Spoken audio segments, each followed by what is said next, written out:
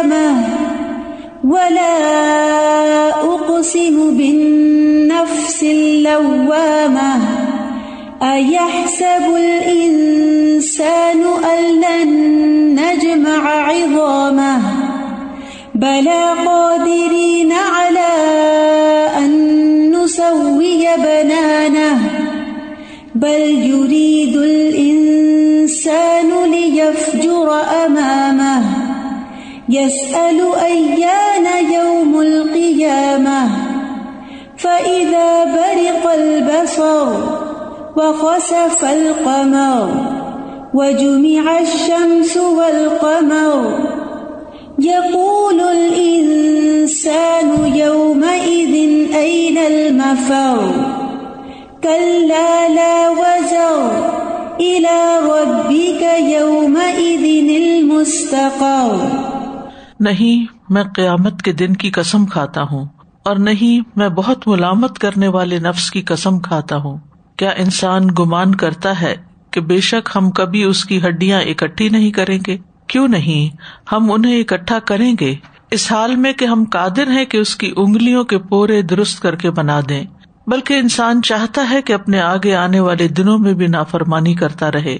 वो पूछता है, उठ खड़े होने का दिन कब है?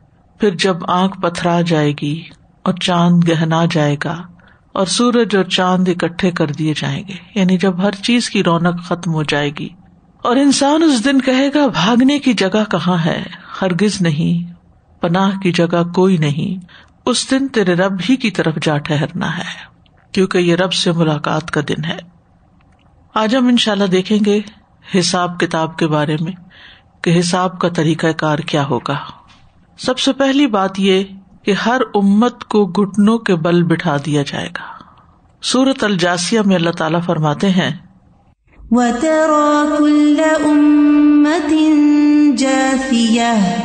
कुल्लु उम्मतिन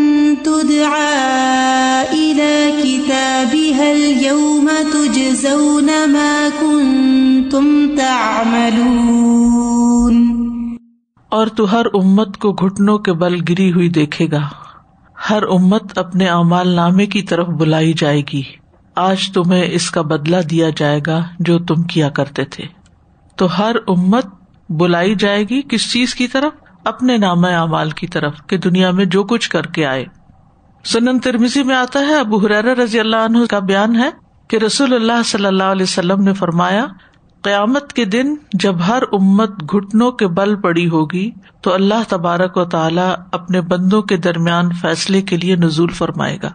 तो ये एक फैक्ट है कि हिसाब किताब के वक्त जब हर एक को उसका नामा अमाल दे दिया जाएगा, और ये सभी को दिया जाएगा। मुस्लिम हो, काफिर हो, सब तो उस वक्त क्यामत की हौलनाकी ऐसी होगी और इतना खौफनाक मंजर होगा कि लोग खड़े न हो पाएँगे, वो घुटनों के बल गिर जाएँगे और इसमें सारी उम्मतें दाखिल हैं। यानी उस वक्त हर कोई घुटने टेक देगा अल्लाह रब्बुल आलमीन के सामने, हर कोई आजजी दिखाएगा। और फिर हर एक अकेले अल्लाह सुबहानु ताला के सामने खड़े होकर हिसाब देगा। सही बुखारी में आता है, नबी सल्लल्लाहु अलैहि वसल्लम ने फरमाया तुम में से हर हर फर्द से अल्लाह क्यामत के दिन इस तरह कलाम करेगा कि अल्लाह और बंदे के दरमियान कोई तर्जुमान नहीं होगा। फिर वो देखेगा तो उसको आगे कोई चीज़ नज़र नहीं आएगी। फिर वो अपने सामने देखेगा और उसके सामने आग होगी। बस तुम में से जो शख्स भी आग से बचने की इस्तेतात रखता है तो वो आग से बचे, खा खजूर के एक टुकड़े के ज़रिए ही मुमकिन हो। यानी उम्मतें इकट्ठी पेश की जाएँगी, लेकिन हिसाब इंडिविजुअल्स का होगा। अलग अलग हर बंदे की कोशिश देखी जाएगी। फिर यह कि हर अमल के बारे में सवाल होगा। बुनियादी मसाइल से लेके छोटे छोटे मसाइल तक, सबसे पहले उनसे ईमान और कुफर के बारे में पूछा जाएगा। जब काफिर अल्लाह के सामने खड़े होंगे, अल्लाह ताला उनसे उनके कुफर के बारे में सवाल करेगा। और जब मुशरक अल्लाह के सामने खड़े होंगे तो अल्लाह ताला उनसे उनके शिरक के बारे में सवाल करेगा। अल्लाह ताला का फरमान है, सूरत शुरा में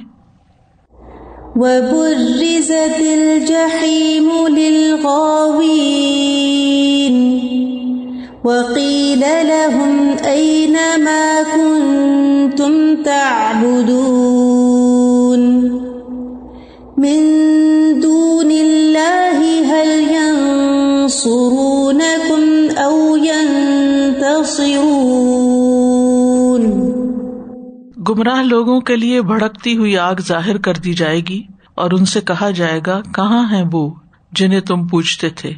यानी जिन्हें तुम अल्लाह का शरीक ठहराते थे, जिनकी तुम इबादत करते थे, अल्लाह के सिवा? आज वो कहाँ हैं? क्या वो तुम्हारी मदद करते हैं या अपना बचाव करते हैं? फिर इसी तरह सूरत अन्नहल में अल्लाह ताला फरमाते हैं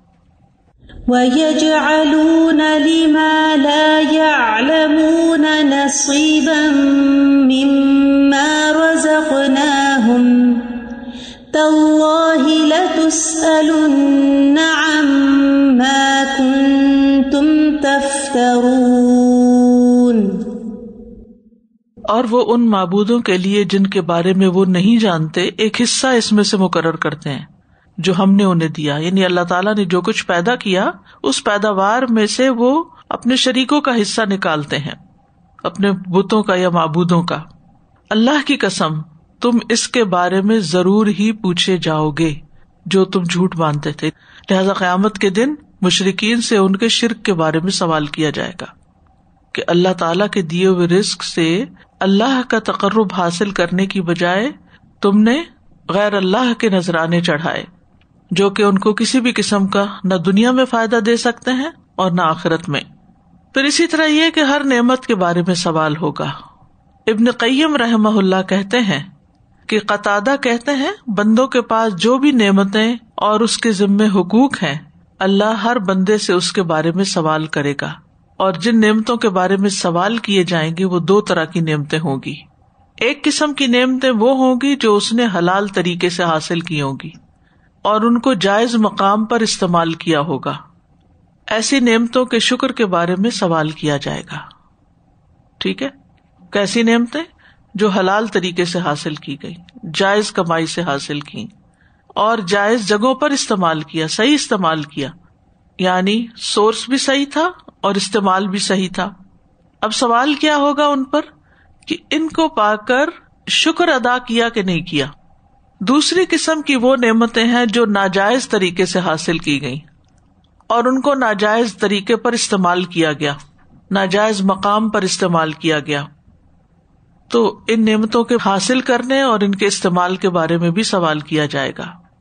और वो ये भी कहते हैं कि हर बंदे से उन नेमतों के बारे में सवाल किया जाएगा, जिन नेमतों से उसने दुनिया में ज़िंदगी गुजारी उससे पूछा जाएगा कि उसने ये नेमतें किस तरीके से हासिल की थी। सही या गलत? तो जब उससे इस सवाल से छुटकारा मिलेगा तो एक और सवाल किया जाएगा कि उस पर अल्लाह का शुक्र अदा किया कि नहीं। और ये कि उस नेमत के ज़रिए अल्लाह की इतात पर मदद ली कि नहीं। यानी, जो भी नेमत अल्लाह ने तुम्हें दी थी मतलब सेहतमंद जिस्म दिया था तो इस जिस्म से अल्लाह की इबादत कितनी की थी? खाने पीने को दिया था। तो उस को खा पी कर फिर तुमने अल्लाह का शुक्र अदा कितना किया और जो ताकत हासिल की वो किस काम में लगाई? इसी तरह औलाद के बारे में, इसी तरह माल के बारे में, जवानी के बारे में, ज़िंदगी के बारे में, वक्त के बारे में कि किन कामों में लगाया? यानी नेमत कहाँ से आई और कहाँ लगाई? फिर इसी तरह जाहिरी और पोशीदा चीज़ों पर हिसाब होगा। सूरत अल में अल्लाह ताला फरमाते हैं लिल्ला ही माफि समावाति व माफिल अर्द, व इन तुबदू माफ़ी अनफुसिकुम औ तुखफूहु युहासिबकुम बिहिल्ला फयगफिरु लिमन यशा व युअज़िबु मन यशा, वल्लाहु अला कुल्ली शैइन कदीर। जो कुछ आसमानों में है और जो कुछ ज़मीन में है, सब अल्लाह ही का है। और जो कुछ तुम्हारे दिलों में है खा तुम उसे छुपाओ या ज़ाहिर करो, अल्लाह तुमसे इसका हिसाब लेगा। फिर जिसे चाहेगा बख्श देगा, जिसे चाहेगा सजा देगा, और वो हर चीज़ पर कुदरत रखता है। यानी दिलों के अंदर जो ख्यालात हैं, उनके बारे में भी सवाल होगा, जैसे नीयतें और इरादे वगैरह हैं। ऐसा नहीं कि जिस पर अल्लाह ताला मुहासबा करे, फिर उस पर सजा भी ज़रूर दे। लेकिन ये कि जो दिलों के अंदर ख्यालात हैं, उनकी जाँच पड़ताल की जाएगी। जो सोचे हैं, इरादे हैं, नीयतें हैं आहसनुल बयान के मुफसर कहते हैं कि बल्कि बास के साथ तो ये मामला फरमाएगा कि उसका एक एक गुनाह याद करा के उनसे एतराफ करवाएगा। कि ये ये काम तुमने दुनिया में किए थे? तो अल्लाह ताला फरमाएगा कि मैंने दुनिया में इन पर पर्दा डाले रखा। जा, आज मैं इनको माफ़ करता हूँ। यानी तुम्हारे दिल के अंदर थी ये चीज़ें, दुनिया में नहीं ज़ाहिर हुई। अब यहाँ भी मैं उनको माफ़ कर देता हूँ। तो इससे ये पता चलता है कि बंदों के दिलों में जो ख्यालात होते हैं जैसे बाज जन होते हैं, गुमान होते हैं किसी के बारे में इन नबाद जन इसमुन। तो ऐसे गुमान जो गुनाह में आते हैं, उन पर भी पूछोगी कि बिला वजह किसी के बारे में बदगुमानी क्यों की? तो ये जो नेगेटिव थिंकिंग है हमारी, ये सिर्फ़ दुनिया में ही तकलीफ़ नहीं देती, ये आखिरत के लिहाज से भी नुकसानदेह है। फिर इसी तरह रियाकारी जो है, दिल का ख्याल है ना? दिल में इंसान के दिखावे का शौक होता है। या और इसी तरह की बुरी सोचें जो हैं वो इंसान के लिए मुसीबत का बायस भी हो सकती है। ये आयत जब उतरी तो सहाबा को बहुत फ़िक्र हुई। इब्ने अब्बास कहते हैं कि इससे सहाबा के दिलों में एक बात आई जो किसी और बात से नहीं पैदा हुई थी। ऐसा डर आया कि इससे पहले नहीं आया था। तो नबी सल्लल्लाहु अलैहि वसल्लम ने फरमाया, कहो समय ना व अता ना व सल्लम ना हमने सुना, हमने इतात की और हमने तस्लीम कर लिया। इब्न अब्बास कहते हैं कि इस पर अल्लाह ताला ने उनके दिलों में ईमान डाल दिया। और ये आयत उतारी ला युकल्लिफुल्लाह नफसन इल्ला वसअहा, लहा मा कसबत व अलैहा मक्तसबत। रब्बना ला तो आखिजना इन नसीना औ अख्ताना। तो अल्लाह ताला ने फरमाया कि मैंने ऐसा कर दिया। यानी जब इन्होंने दुआ की कि अल्लाह हमारे ऊपर बोझ ज़्यादा न डाल, रब्बना वला तहमिल अलैना इसरन कमा हमलता लजीन मिन कबलना। अल्लाह ने फरमाया, मैंने ऐसा कर दिया। वक्फिर लना वरहमना अंत मौलाना। फंसुरना अल कौमिल काफिरीन तो अल्लाह ताला ने फरमाया, मैंने ऐसा कर दिया। यानी तुम्हारी दुआ सुन ली। तो इससे क्या पता चलता है कि इंसान के दिल में उठने वाले जो वसवसे हैं, जो ख्यालात हैं, ये भी इंसान के सामने आएँगे। लेकिन अल्लाह ताला उनका मुहासबा करने के बाद, पूछने के बाद कि तुमने ये किया था, यानी सोचा था ऐसा ऐसा, फिर उनको माफ़ कर देगा। हाँ कुछ चीज़ें ऐसी हैं कि जिनकी पकड़ के बारे में भी आता है। तो उनका बयान अलग है, जैसे नियतों की खराबी तो वो आगे बयान आ रहा है। हिसाब किताब का आगाज़ उम्मत मोहम्मद सल्लल्लाहु अलैहि वसल्लम से होगा। यानी सबसे पहले हमारा हिसाब होगा। सुनर इब्न माजा में आता है, नबी सल्लल्लाहु अलैहि वसल्लम ने फरमाया, हम आखिरी उम्मत हैं, लेकिन सबसे पहले हमारा हिसाब होगा। कहा जाएगा, उम्मी उम्मत कहाँ है? और इस उम्मत के नबी कहाँ हैं? तो हम सबसे आखिर में आने वाले क्यामत के दिन पहले होंगे। सही मुस्लिम में आता है अबू हुरैरा और हुजैफा रज़ी अल्लाह अनहुमा से रिवायत है। उन दोनों ने कहा कि रसूल अल्लाह सल्लल्लाहु अलैहि वसल्लम ने फरमाया, जो लोग हमसे पहले थे, अल्लाह ने उन्हें जुमा की राह से हटा दिया। इसलिए यहूद के लिए हफ़्ते का दिन हो गया और नसारा के लिए इतवार का दिन। फिर अल्लाह हमें इस दुनिया में लाया और जुमे के दिन की तरफ़ हमारी रहनुमाई कर दी। उसने जुमा फिर हफ़्ता, फिर इतवार रखा। जिस तरह वो इबादत के इन दिनों में हमसे पीछे हैं, इसी तरह क्यामत के दिन भी वो हमसे पीछे होंगे। अहले दुनिया में से हम सब के बाद हैं और क्यामत के दिन सबसे पहले होंगे, जिनका फैसला बाकी मखलूक से पहले कर दिया जाएगा। वो तो इंतज़ार का एक लंबा दिन है, लेकिन उम्मत मुस्लिमा की बारी पहले आ जाएगी और उनका हिसाब किताब करके वो अपने अंजाम को पहुँचा दिए जाएँगे। उम्मत मुस्लिमा में से कुछ लोग बगैर हिसाब के जन्नत में जाएँगे। उनका हिसाब नहीं होगा और उनकी तादाद सत्तर हज़ार बताई जाती है, जिन पर फिर मजीद का इजाफा भी है।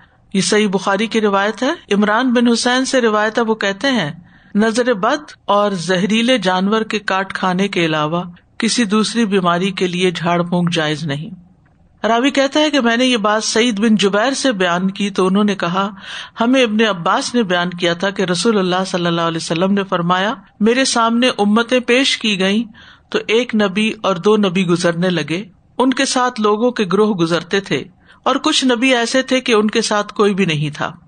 आखिर मेरे सामने एक भारी जमात आई तो मैंने पूछा, ये कौन है? क्या ये मेरी उम्मत है? मुझे बताया गया कि ये मूसा सलाम और उनकी उम्मत है। फिर मुझसे कहा गया, आप उफक की तरफ़ निगाह दौड़ाएँ। मैंने देखा, एक बहुत ही अजीम जमात है जो आसमान के किनारों तक छाई हुई है। फिर मुझे कहा गया कि इधर उधर देखूँ। मैं क्या देखता हूँ? कि अजीम तरीन हजूम ने आफाक को भरा हुआ है। मुझे बताया गया कि ये आपकी उम्मत है। और इनमें सत्तर हज़ार लोग ऐसे हैं जो हिसाब के बगैर जन्नत में जाएँगे। फिर आप सल्लल्लाहु अलैहि वसल्लम हुजरे में दाखिल हो गए। ये बात फरमाई और चले गए। और ये वजाहत न की कि वो कौन लोग होंगे। लोग उनके मुतल गुफ्तगु करने लगे कि वो फलां होंगे फलां होंगे। कि वो हम लोग हैं जो अल्लाह पर ईमान लाए और उसके रसूल की इतबा की है। इसलिए वो लोग हम हैं या हमारी औलाद जो इस्लाम में पैदा हुई, क्योंकि हम तो दौरे जाहलियत में पैदा हुए।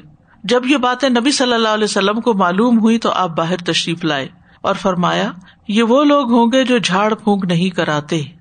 ये वो लोग होंगे जो झाड़ फूंक नहीं कराते, फाल नहीं देखते, बदशगुनी नहीं लेते और दाग से इलाज नहीं करते, बल्कि अपने रब पर भरोसा करते हैं। ये सुनकर अकाशा बिन महसन ने कहा अल्लाह के रसूल, क्या मैं उनमें से हूँ? आपने फरमाया हाँ तुम उनमें से हो। फिर दूसरा आदमी खड़ा हुआ और अर्ज़ किया अल्लाह के रसूल, मैं भी उनमें से हूँ। आपने फरमाया अकाशा तुम पर बाजी ले गया। यानी वो, जिसने पहले पूछा, वो कामयाब हो गया। एक और रिवायत में आता है कि सत्तर हज़ार में मजीद इजाफा भी किया जाएगा। मुस्लिम अहमद की रिवायत नबी सल्लल्लाहु अलैहि वसल्लम ने फरमाया, मेरे रब अज्जा वजल्ला ने मुझसे वादा किया कि मेरी उम्मत के सत्तर हज़ार लोगों को बिला हिसाब और बिला अजाब जन्नत में दाखिल फरमाएगा। हर हज़ार के साथ मजीद सत्तर हज़ार होंगे। यानी वो सत्तर हज़ार है ना तो उनमें से हर हज़ार के साथ और सत्तर हज़ार भी होंगे। और उस पर मजीद तीन चुल्लू मेरे रब अज्जा वजल्ला के चुल्लुओं में से, यानी जिनको अल्लाह ताला माफ़ कर देगा। इसी तरह जो जिहाद फ़ी सबील्ला करते हैं मुजाहिदीन, उनको भी बगैर हिसाब के जन्नत में ले जाया जाएगा। अबू सईद खुदरी से रिवायत है कि रसूल अल्लाह सल्लल्लाहु अलैहि वसल्लम ने फरमाया, अल्लाह के यहाँ क्यामत के दिन अफसल जिहाद उन लोगों का होगा, जो पहली सफ में दुश्मन का मुकाबला करते हैं और पीछे को नहीं पलटते हती के वो शहीद हो जाते हैं। यही वो लोग हैं जो जन्नत के आला बाला खानों में दाखिल होंगे। उनकी तरफ़ तेरा रब देखता है, और तेरा रब जब किसी कौम पर हंस दे तो उन पर कोई हिसाब नहीं होता। यानी ऐसे लोगों को रब मोहब्बत की निगाह से देखता है और उन पर खुश होता है और जिन पर रब खुश हो जाए तो फिर उनका हिसाब नहीं होगा। फिर फुकरा मुहाजरीन बगैर हिसाब जन्नत में जाएँगे। अब्दुल्ला इबन अमर रज़ी अल्लाह से रिवायत है, वो कहते हैं कि रसूल अल्लाह सल्लल्लाहु अलैहि वसल्लम ने फरमाया, क्या तुम मेरी उम्मत की उस जमात को जानते हो जो सबसे पहले जन्नत में दाखिल होगी? मैंने कहा, अल्लाह और उसका रसूल ही बेहतर जानते हैं। आपने फरमाया, वो जमात मुहाजरीन की है। वो रोज़े क्यामत जन्नत के दरवाजे पे आकर दरवाज़ा खोलने का मुतालबा करेंगे। दरबान उनसे पूछेगा, तुम्हारा हिसाब किताब हो चुका है? वो कहेंगे, किस चीज़ का हमसे हिसाब किताब लिया जाए? मरते दम तक अल्लाह के रास्ते में हमारी तलवारें हमारे कंधों पे रही। यानी हमने तो ज़िंदगी जो है, वो इसी राह में गुजारी अल्लाह के रास्ते में। तो दरबान उनके लिए दरवाज़ा खोल देगा। और वो दाखिल होकर आम लोगों के दाखिले से पहले चालीस साल का कैलूला भी कर चुके होंगे। यानी उनके चालीस साल बाद और लोग दाखिल होंगे। यह है उनका मकाम। ये लास्ट बात पे ही सवाल आ रहा है उस्ताद जी ये वो जो महाजरीन एक्चुअल अव्वल महाजरीन है वो है? वही मुराद है। जैसे सारे गुनाह आपने फरमाया कि दिखाए जाएँगे तो इनमें से जैसे वो आती है ना हदीस के चंद घड़ियों में अगर आप इस्तफार कर ले तो वो नहीं लिखे जाएँगे। यानी वो इंसान के बाएँ तरफ़ नहीं लिखे जाएँगे कि इंसान की फिर उस पर पकड़ हो। ओके जी। लेकिन दिखाए वो जी हाँ वमैयामल मिसकाल जर्रतिन खैरन यराहू। ये जो यरा हुआ है ना उसको दिखाया जाना ये अपनी जगह है। फिर अगला मरहला है कि उस पर हिसाब हो या ना हो। फिर ये कि उस पर सजा हो या ना हो। लेकिन एक दफ़ा इंसान अपनी ज़िंदगी में जो कुछ करता है उस सब का रिकॉर्ड तैयार होता है। ये स्केरी चीज़ है। उस्ताजा जी दूसरा आपने फरमाया कि वो नज़र बद और जहरीले जानवर के काटने के अलावा नहीं। तो जैसे बीमारी में हम सुनते हैं रुकिया वगैरह करते हैं उसका नहीं। सुन सकते हैं रुकिया इससे मतलब ये है कि बाकायदा तलब करना किसी राकी को बुलाना वो मुराद है। उस्ताजा जी दो बातें माइंड में आ रही थी। एक तो शुक्र गुजारी करने वाले। तो मैं आज ही सोच रही थी कि कुछ ऐसी नेमतें होती हैं जो कि they are there but people don't realize it मैं किसी की तरफ़ गई तो उन्होंने मुझे कहा देखिए आज कितनी गर्मी है। हम जब सर्दी होती है तो सर्दी को कहते हैं गर्मी होती है लेकिन उसके अंदर कितनी खैर होती है और क्या उसके पीछे हमारे लिए रहमतें और नेमतें लिखी होती हैं, ये अल्लाह ताला ही जानता है। हमने कभी उस तरह इस्तेमाल ही नहीं की उन नेमतों का इस्तेमाल के बारे में कहा जा रहा है कि जायज़ नेमतों को सही जायज़ तरीके से इस्तेमाल करना।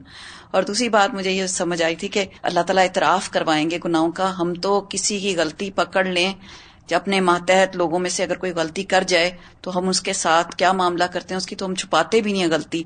और अल्लाह ताला हमारी कितनी गलतियाँ इतराफ करवा के फिर छुपा देंगे माशाल्लाह। जी अब देखिए ना कि अगर चाहेंगे तो। आ, होता क्या है अगर कोई हमसे पूछ ले तुमने ये किया था ये किया था ये किया था? हम कहें हाँ किया था। तो फिर। अगला क्या होता है? फिर तो अच्छा अब भुगतो। किया था ना अब तुम्हारे लिए सजा है। माँ ही एक बच्चे के साथ क्या करती है? उसको बुलाती है ये तुमने खराब किया था। तो अगर वो इकरार करता तो एक लगाती। है लेकिन अल्लाह सुबहान ताला की रहमत देखें कि इकरार करा के सारा। किया था ये किया था। इंसान कहेगा हाँ किया था और समझेगा अब तो मैं मारा गया। और फिर अल्लाह ताला फरमाएगा जा मैंने तुझे बख्श दिया। इसको रहमत कहते हैं अल्लाह ताला की। ये जो नेमतों की शुक्रगुजारी की बात आपने की ना ये बिल्कुल सही है कि हम लोग नेमतें देखने के काबिल भी नहीं है। हमारे मुँह से खैर का कलमा ही बड़ा कम निकलता है। जब निकलता है शिकायत का, जब निकलता है शिकायत का। यानी अच्छी बात कम ही निकालते हैं मुँह से। हमें अपने तर्ज अमल को संजीदगी से खुद देखने की ज़रूरत है। यानी कोई इंसान नहीं ज़िंदगी में ऐसा जिसके ऊपर कोई मसला ना हो। क्योंकि ज़िंदगी इम्तिहान है। अल्लाह खलक अल मऊता वल हयात लियबलुवकुम। अल्लाह ने बनाया ही इम्तिहान के लिए। तो इम्तिहान तो हर एक पे होगा। किसी का इम्तिहान हमारे सामने होता है और किसी का नहीं होता। किसी की मुश्किल हम देख रहे होते हैं अपने करीबी रिश्तेदारों वगैरह की, लेकिन जो अननोन पीपल होते हैं, हमें नहीं पता, लेकिन थोड़ी देर भी आप उनके साथ बैठ जाएँ तो आपको अंदाज़ा होगा कि वो तो हमसे भी ज़्यादा बड़ी मुश्किल में कल परसों एक खातून ने मुझे फ़ोन किया अपने किसी मसले के सिलसिले में। उसने जो अपने घर के हालात बताए, वो इतने तकलीफ़ दे थे, इतने तकलीफ़ दे थे कि इंसान सोच ही नहीं सकता। तो उस वक्त मुझे एहसास हुआ कि अल्लाह ने मुझे इस चीज़ से भी बचाया हुआ है। अल्लाह ने मुझे इस चीज़ से फिर मैंने एक एक चीज़ का शुक्र अदा करना शुरू किया कि अल्हम्दुलिल्लाह, लेकिन हकीकत है, मैं किसी की बात नहीं करी मैं अपनी बात करी कि उससे पहले इन नेमतों पर मैंने कभी तवज्जो ही नहीं की कि ये भी नेमत है। जब हम दूसरे लोगों को देखते हैं, दुनिया में जिनके ऊपर मसाइल आते हैं, कुछ के तो नज़र आते हैं कुछ के नहीं तो फिर इंसान सोचता है, भाई, मैं ज़्यादा बेहतर हाल में हूँ। लेकिन आम हालात में हमारे जहनों में कोई ना कोई लावा ही उबल रहा होता है। ये ठीक नहीं रहा, वो ठीक नहीं है, वो ठीक नहीं है, ये भी ठीक नहीं है। ये मेरे साथ क्या हो गया? हर वक्त हम सेल्फ पिटी का शिकार रहते हैं। तो हम सबको इससे निकलने की ज़रूरत है क्योंकि ये नाशुक्री है। एक शिकवा होता है और एक शुक्र होता है। तो हम अपने शिकवों को शुक्र में बदल दें और अपनी मुश्किलात का बहुत ज़िक्र ना किया करें। ये आदत डालें। नबी वसल्लम ने ये जो फरमाया ना कि मैंने जहन्नम में अक्सरियत औरतों को देखा। और उसकी बुनियादी वजह क्या बताई कि वो नाशुक्री होती है।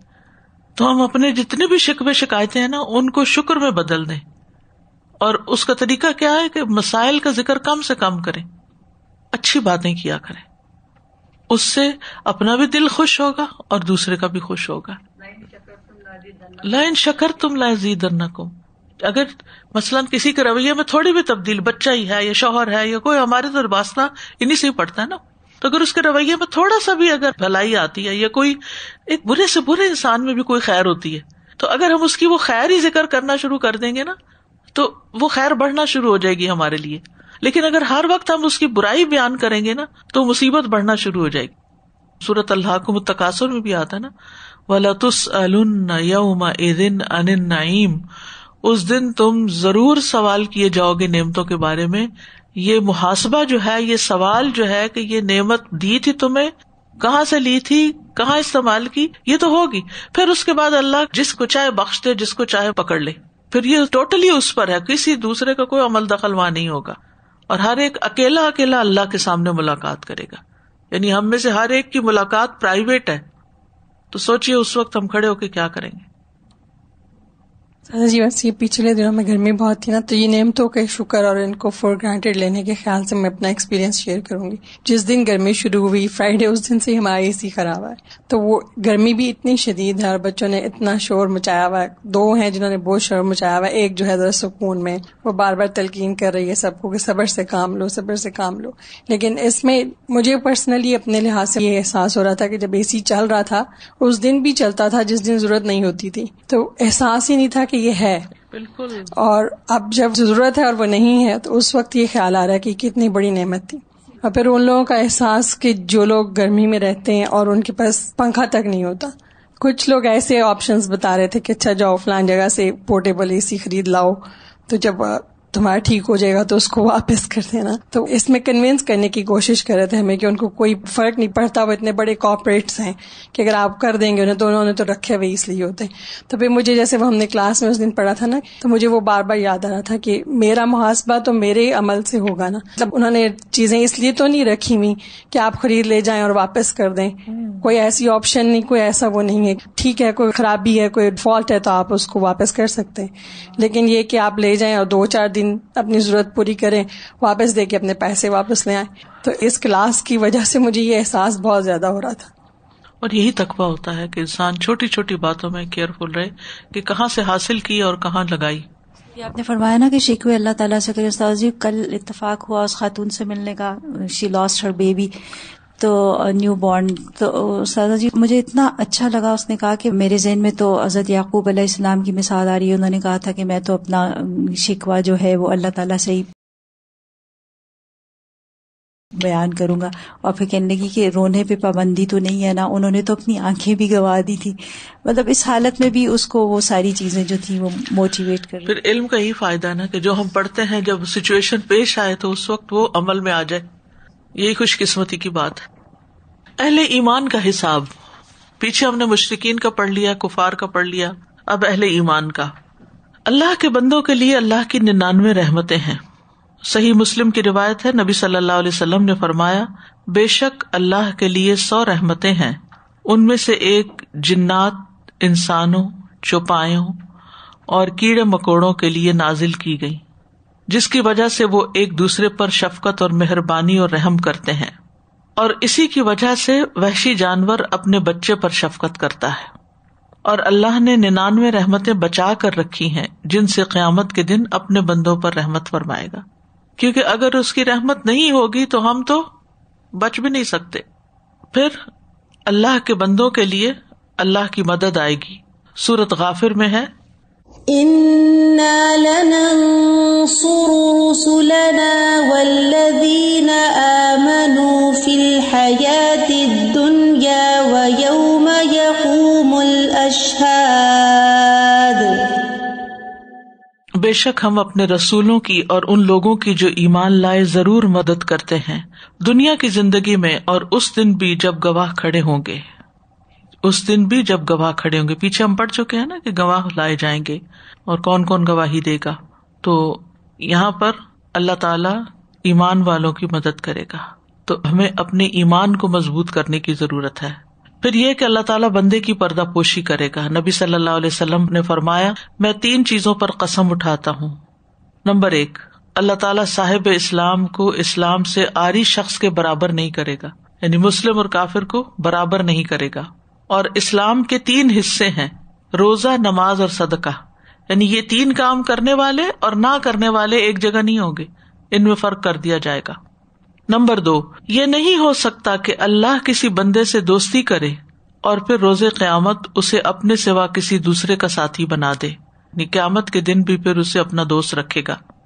नंबर तीन, और जो शख्स जिस किसी से मोहब्बत करेगा, वो क्यामत के दिन उसी के साथ उठेगा, उसी के साथ आएगा।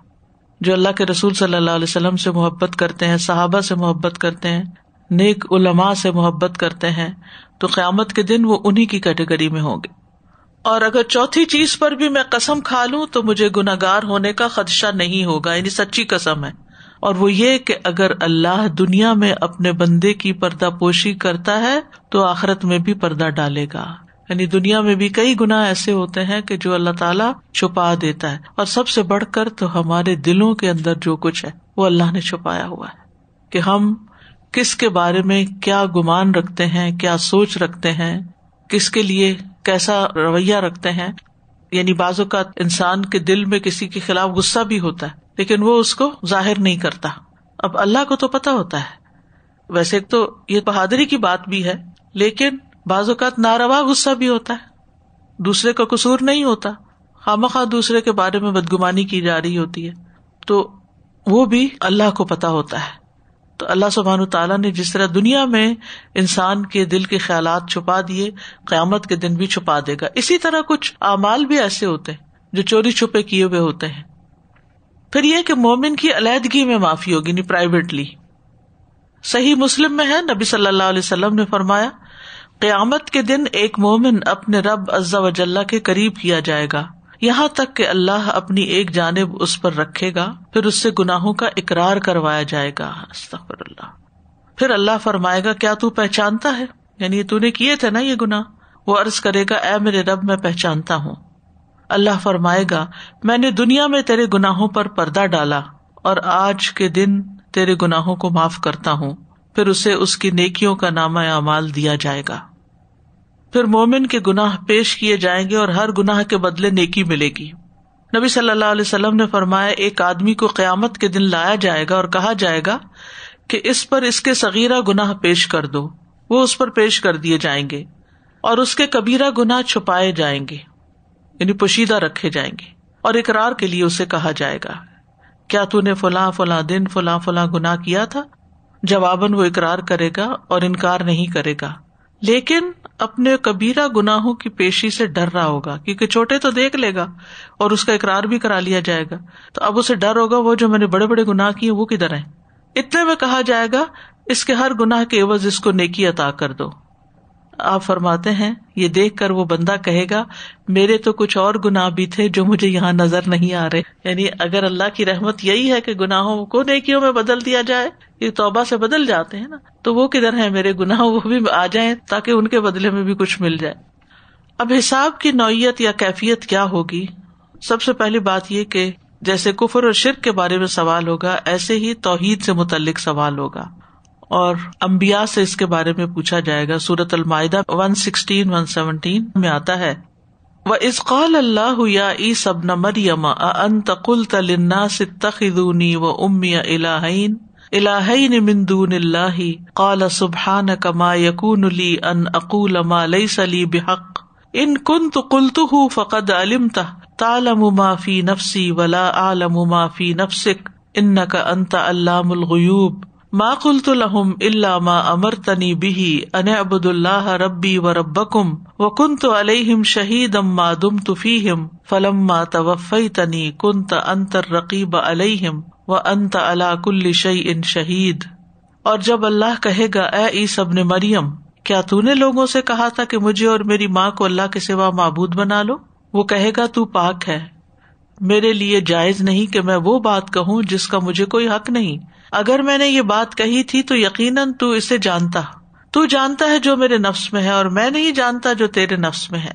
यकीनन तू ही सब छुपी बातों को खूब जानने वाला है। मैंने उन्हें इसके सिवा कुछ नहीं कहा जिसका तूने मुझे हुक्म दिया कि अल्लाह की इबादत करो, जो मेरा रब और तुम्हारा रब है। और मैं इन पर गवाह था जब तक मैं इनमें रहा। फिर जब तूने मुझे उठा लिया तो तू ही इन पर निगरान था और तू हर चीज़ पर गवाह है।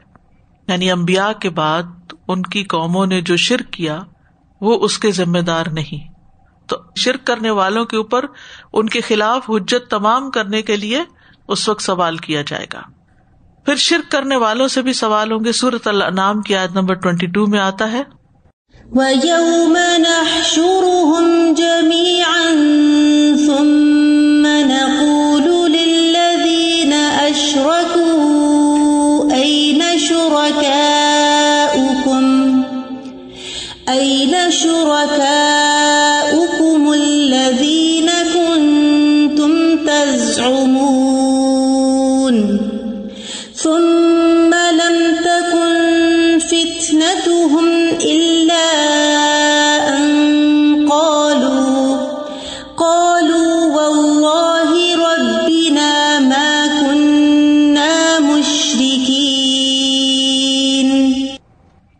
और जिस दिन हम इन सब को जमा करेंगे फिर हम उन लोगों से कहेंगे जिन्होंने शरीक बनाए, कहाँ है तुम्हारे वो शरीक जिन्हें तुम गुमान करते थे? ये सवाल किया जाएगा, शरीक के दिन तुम्हारे?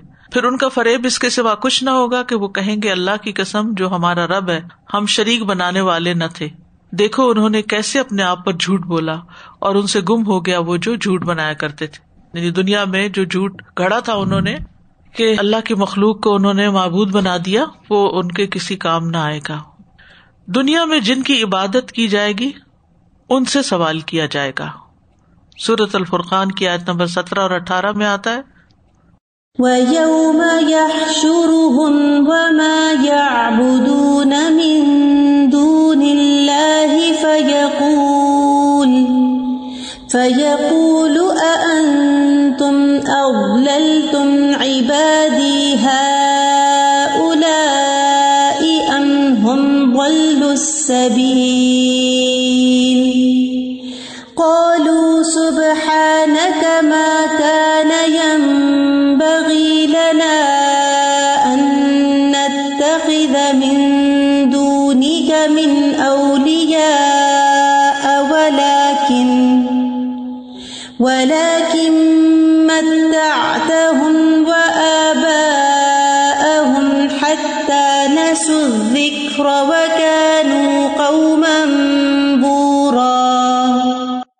और जिस दिन वो उन्हें और जिनको वो अल्लाह के सिवा पूछते थे इकट्ठा करेगा।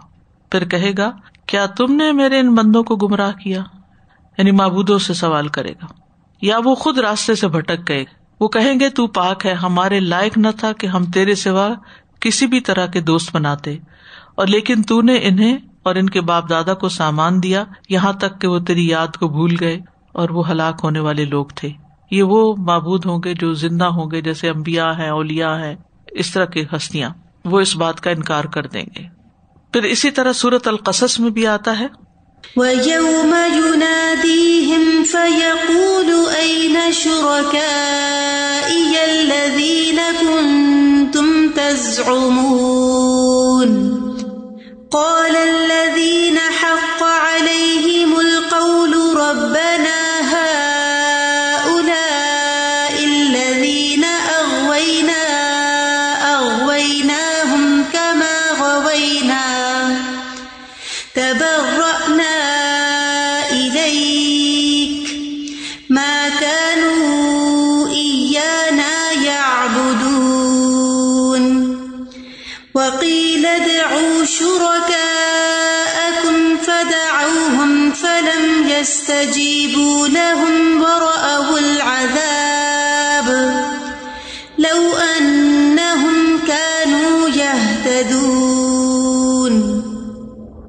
और जिस दिन वो उन्हें आवाज देगा फिर कहेगा कहाँ है मेरे वो शरीक जो तुम गुमान करते थे वो लोग कहेंगे जिन पर बात साबित हो चुकी ए हमारे रब ये हैं वो लोग जिन्हें हमने गुमराह किया हमने इन्हें इसी तरह गुमराह किया जैसे हम गुमराह हुए हम तेरे सामने बरी होने का ऐलान करते हैं।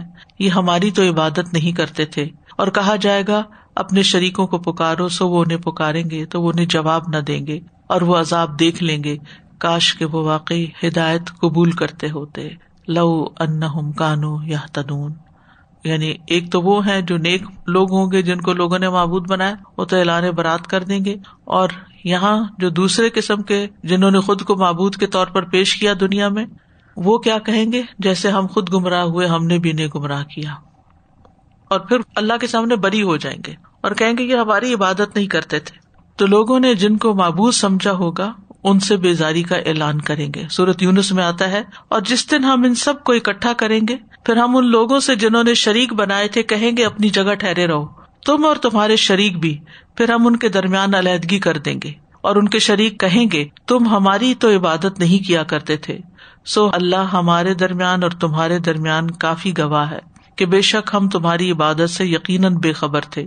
इस मौके पर हर शख्स जाँच लेगा जो उसने आगे भेजा और वो अल्लाह की तरफ़ लौटाए जाएँगे जो उनका हकीकी मालिक है और उनसे गुम हो जाएगा वो झूठ जो बांधा करते थे। सूरत का फायद फिफ्टी टू में अल्लाह ताला फरमाते हैं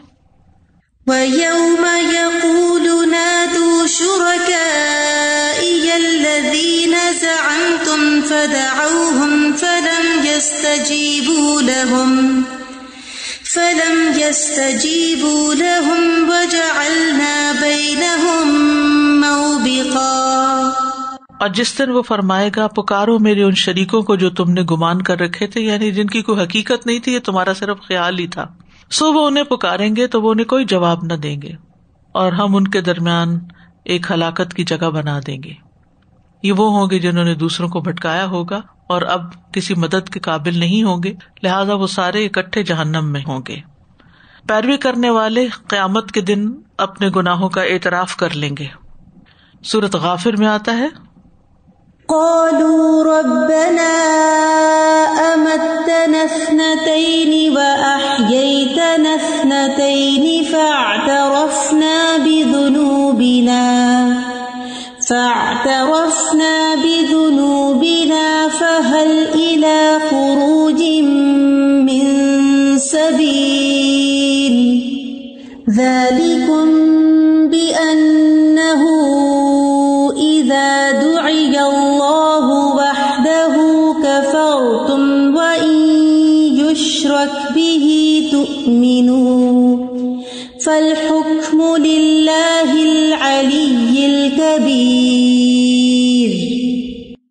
कहेंगे, ए हमारे रब, तूने हमें दो दफ़ा मौत दी और तूने हमें दो दफ़ा ज़िंदा किया। सो हम अपने गुनाहों का इकरार करते हैं। क्या निकलने का कोई रास्ता है? ये इसलिए कि बेशक हकीकत ये है कि जब उस अकेले अल्लाह को पुकारा जाता था तो तुम इनकार करते थे। और अगर उसके साथ किसी और को शरीक ठहराया जाता तो तुम मान लेते थे। अब फैसला अल्लाह के इख्तियार में है, जो बहुत बुलंद और बड़ा है। इससे क्या पता चलता है कि वहाँ जाकर लोग अपने गुनाहों, अपनी गलतियों का एतराफ कर लेंगे, मान लेंगे, ताकि उन्हें माफ़ कर दिया जाए। लेकिन अगर यही एतराफ वो दुनिया में करते तो वहाँ माफ़ी हो जाती।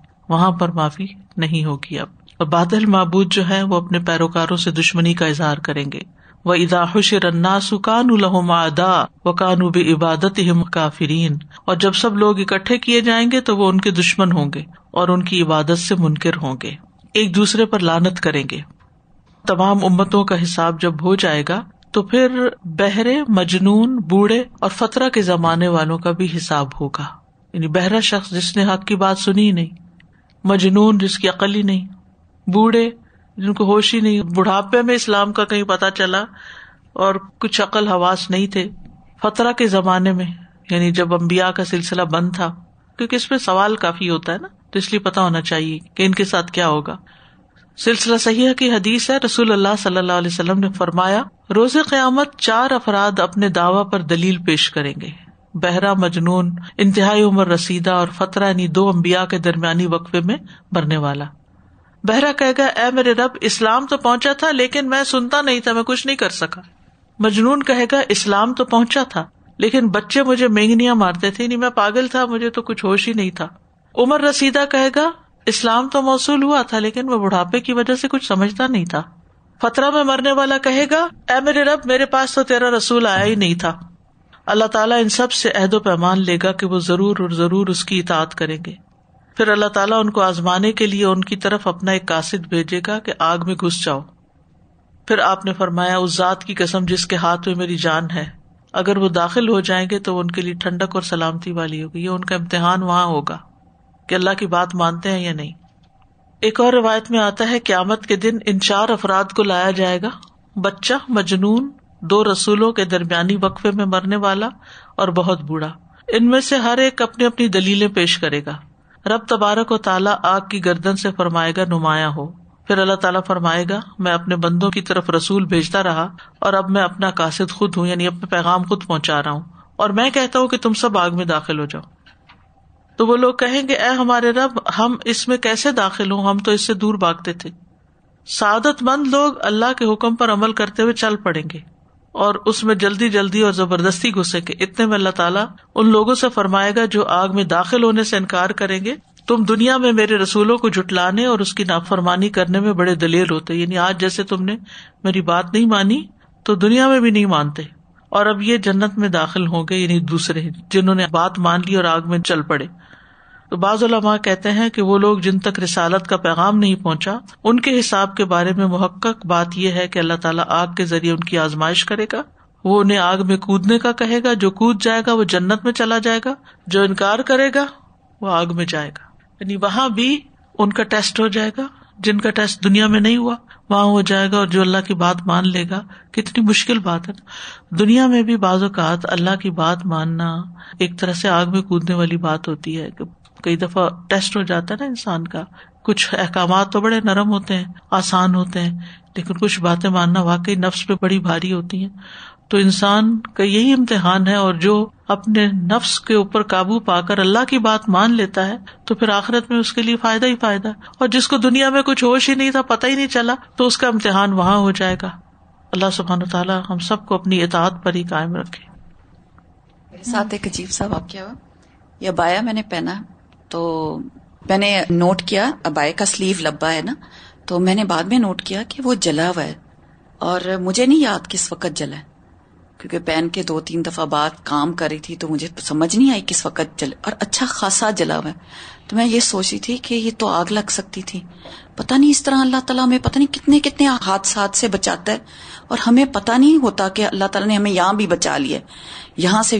तो इतना कुछ मेरे माइंड में आया कि जल जाती, क्या होता, कैसे होता, कहाँ लगी आग, कुछ नहीं। तो मुझे बहुत सारी बातें याद आई कि कितने एक्सीडेंट्स होते हैं कितने वाकयात होते हैं जो अल्लाह ताला हमें बचाता चला जाता है। हमें नहीं पता होता कि हमें बाल बाल बच जाते हैं। बिल्कुल। वाखिर दावाना अलहमदिल्ला रबालमीन सुबहानकल्लाहुम्म व बिहम्दिक अशहदु अल्ला इलाहा इल्ला अंत। अस्तगफिरुका व अतूबु इलैक। अस्सलाम वालेकुम व रहमतुल्लाहि व बरकातुहू।